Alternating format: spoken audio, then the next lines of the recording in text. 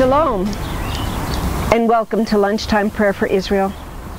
Greetings from Jerusalem. We're on the temple steps.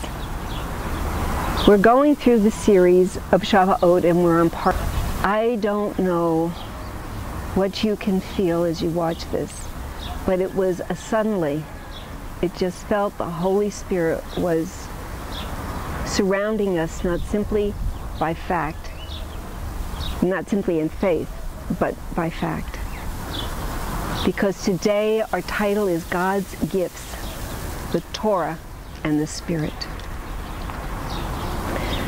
Jewish tradition says God gave Israel the law on Shavuot, but there is no biblical proof for this most important event in Israel's history. Religious Jews stay up all night, many of them just around the corner at the, the, the, the wall, the last remnants of the closest they can get to pray. Wasn't a wall of the temple, it was a wall, Herod's retaining wall. But this area is the most holy site. So religious Jews stay up reading the Torah all night so they will be ready to welcome the Torah at sunrise the next day.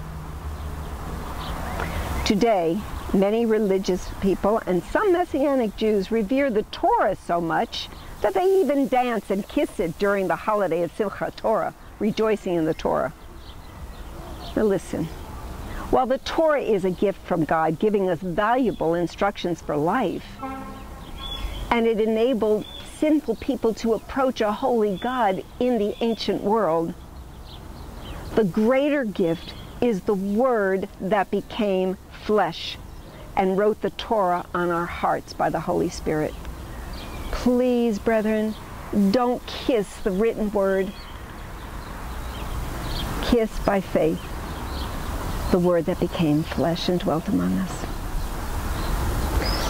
So we're going to read John chapter 1, 14a. And the Word became flesh and dwelt among us. And Acts 2, verses 1 through 4. When the day of Pentecost, or Shavuot, had fully come, they were all with one accord in one place. And suddenly there came a sound from heaven as a rushing mighty wind, and it filled the whole house where they were sitting. Then there appeared to them divided tongues as of fire, and one sat upon each of them. And they were all filled with the Holy Spirit, and began to speak with other tongues, as the Spirit gave them utterance. What does it mean, fully come? Well, you know that the holidays here begin at sundown, so they go from sundown to sundown. So what we believe that fully come means is at the sunrise.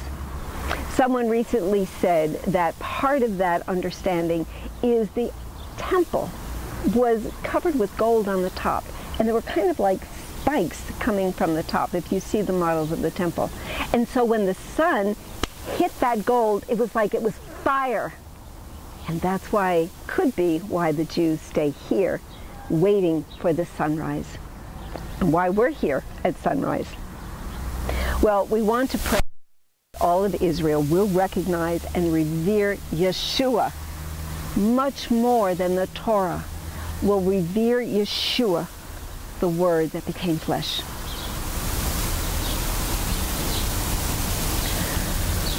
Father, Abba Shemayim, our Father in heaven, how do we thank you?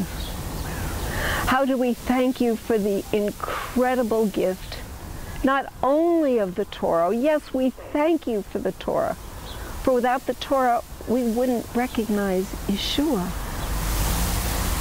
But thank you that you so loved the world, that you gave your only begotten Son, that whoever would believe in him would not perish but have eternal life. And your word says that when they know your name, they would put their trust in you. Trusting you means praising you. Oh, for a thousand tongues to sing my sweet Redeemer's praise. Our heart yearns and breaks for so many Jews who do not understand and recognize Yeshua. They read their Torah, they read their Tanakh with the prophets and the writings, the Psalms, but they are still blinded. But oh God, we pray on this Pentecost, on this Shavuot, you will bring in a mighty, mighty harvest of Jews who will bend their knee and bow their neck with love, passionate, exquisite love for their Messiah, Yeshua. For it's in his name that we pray. Amen. And with that, I say Lehitraot, Shalom from Jerusalem.